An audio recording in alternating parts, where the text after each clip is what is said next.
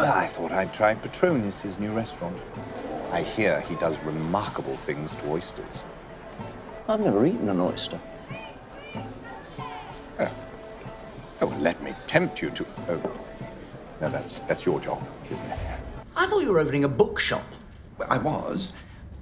I got peckish. Peckish. Well, if you must know, it was the crepes. Can't get decent ones anywhere but Paris.